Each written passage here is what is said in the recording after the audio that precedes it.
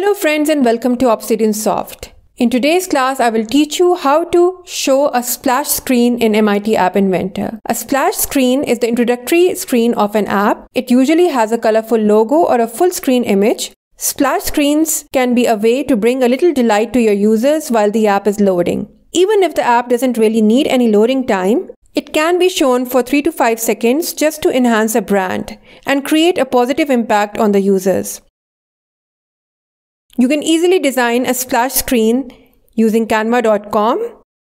For Android devices, I use 1080 by 1920 pixels for my full screen images in portrait mode while I'm designing my splash screens in canva.com. I have already designed a splash screen for a plant care app and have created a new project for it in MIT App Inventor. First, I'm going to upload a background image for my splash screen. I made this in canva.com. For screen 1, use the image that we uploaded as the background image. For screen orientation, choose portrait and uncheck title visible. Okay. From sensors, add a clock.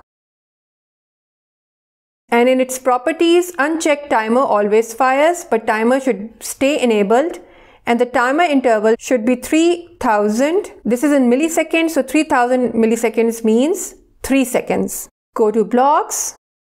From clock 1, get its timer event. This event will be run or triggered when our 3000 milliseconds timer will go off. Quickly add another screen by clicking on add screen. Okay. Screen 2 will be the main screen of whatever app you are creating. In my case, it's a plant care app. So this can be designed later. Let's complete our splash screen code first.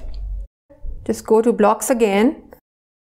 Choose screen 1 and here we want to open up our screen 2 when the timer goes off. So go to control and get the open another screen block and choose screen 2.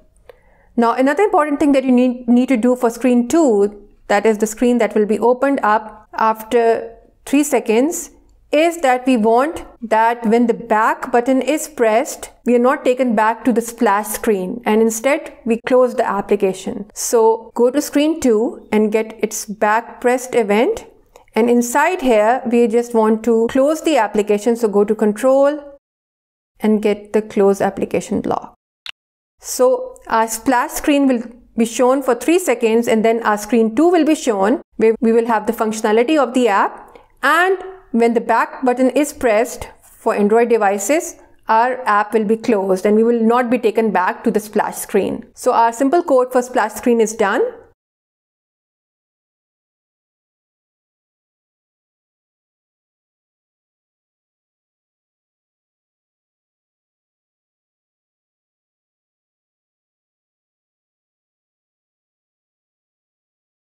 So I hope you like this video. Do share it with your friends and family and thank you for watching my video. Have a good day and goodbye.